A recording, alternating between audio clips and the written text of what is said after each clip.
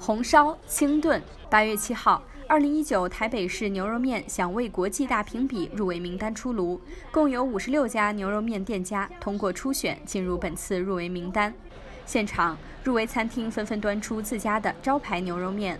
不论是在牛肉、汤头、面条与口感方面，都各具特色。这其中既有2014年曾获得此项比赛冠军的老牌店家半亩田，也有研发四年半、试吃一百多次才推出的总裁牛肉面。我们研发的步骤，在研发步骤就有了四四年半，经过跟我们董事长跟总裁试吃了一百多次，然后才落落定了这个口味。那我们的制作过程呢，是经过四个工艺，就是工艺、工时、工序、工段，然后有一百二十九九种的那种时段跟这个步骤来完成这个这个牛肉面的制作。那 CP 值非常高，如果你享用的这个牛肉面呢，就感觉上有总裁那种舒适的感觉。柴米夫妻餐厅则带来了一款仙气飘飘的清炖牛肉面。据主厨刘家豪介绍，这道菜品的灵感来源于自己的妻子。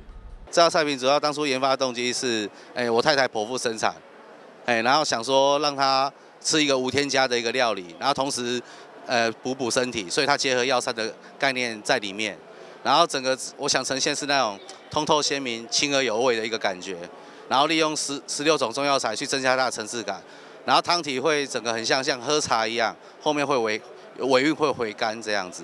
作为地道的平民美食，台湾牛肉面摊位遍布街头巷尾。有着“牛肉面之都”美誉的台北，每年都会举办牛肉面评比。此次更是直接将店内的牛肉面端至评委面前，用专业味蕾帮顾客选出品质最优的牛肉面。十年来都是哦游在户外或是那个比赛，都是哦现场我做一个厨房比赛。但是比赛的时间，它时间不够的话，它都会影响。其实只有三个小时，它是没办法做出一碗真正到地的牛肉面。但是我们现在这次我们的比赛，啊，是由你到从店里，哦，说一模一样卖给消费者的，啊，牛肉面直接带回到啊我们来盲测。